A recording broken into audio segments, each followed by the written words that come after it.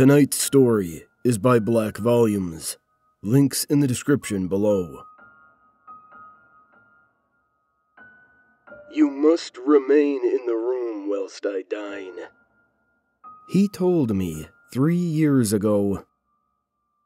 But face the wall, and do not turn around until I've eaten every last crumb. I nodded.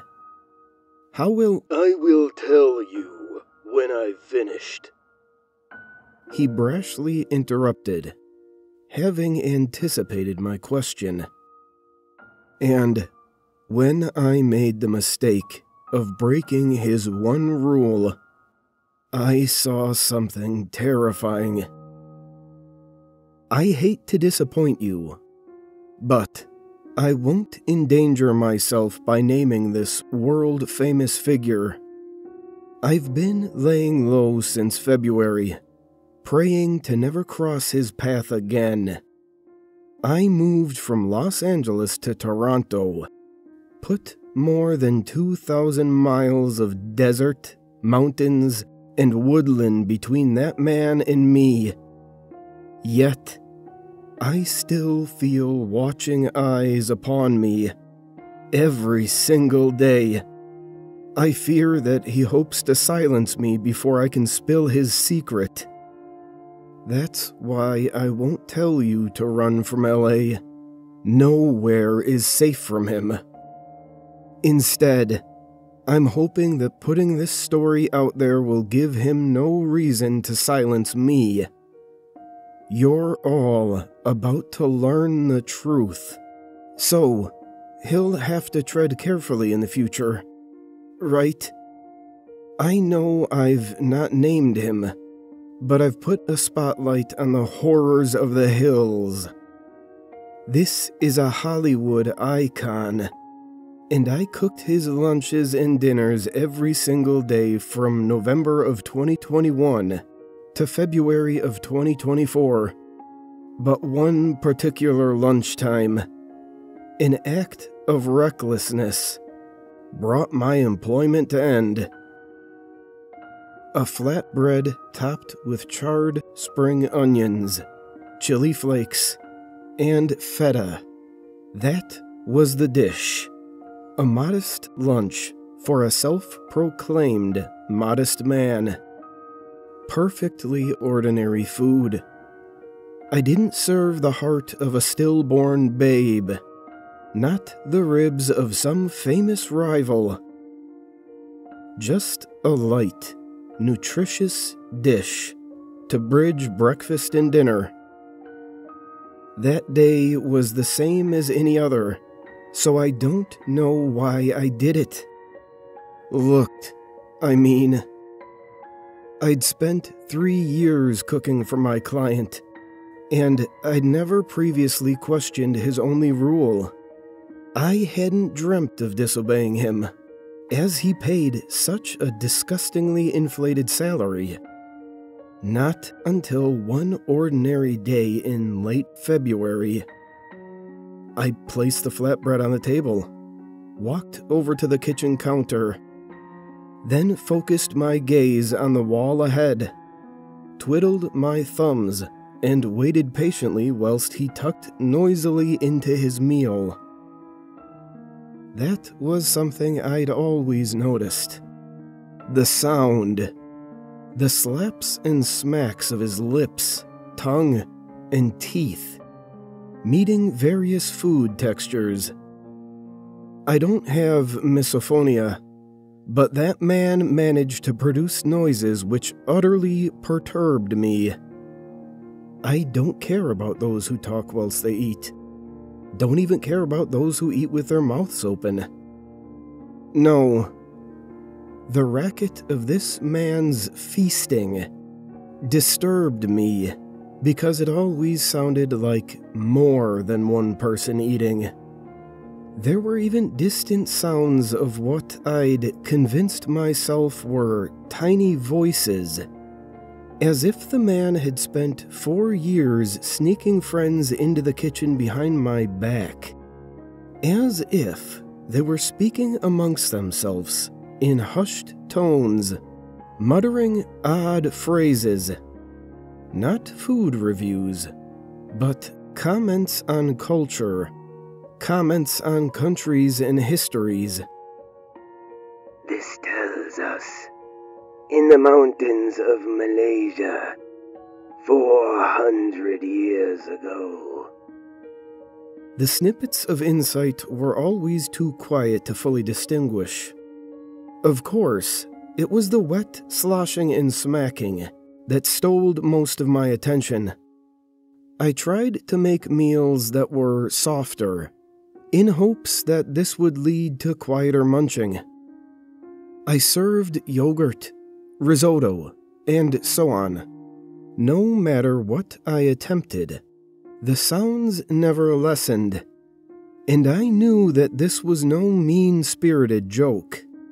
He wasn't sharing a meal with hidden guests. Though I certainly wouldn't have been the first woman to find myself at the receiving end of his bizarre antics. Believe me, over the years, I'd considered numerous scenarios in my head, but none of them felt right. None of them warmed my chilled flesh whilst that awful man ate. So I eventually broke. Something came over me. Madness, I suppose. Born of years working in a draining environment. All for a healthy heap of bucks. Well, I'd passed my threshold. The money no longer mattered. I had to know. I turned away from the wall. The man at the kitchen table was not eating. Not in any human sense of the word. The sides of his face had opened like the skin of a tangerine, revealing neither hidden tissue nor bone beneath. There was a crater within his skull, a crater into which he was shoveling torn strips of my lovingly cooked flatbread.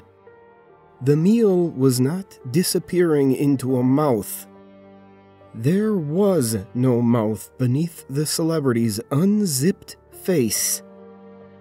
Chunks of bread and toppings were washing over a dozen rolling eyeballs, each with a black sclera, a white iris, and a red pupil. Inhuman eyes. Eyes that were not consuming the food, but letting the broken fragments slide off their rolling surfaces as if absorbing the meal's secrets, learning something from it. And the flatbread did not disappear into the body below. It disintegrated in the black, watery film coating those many eyes. I was too haunted to scream, but I'd already been detected.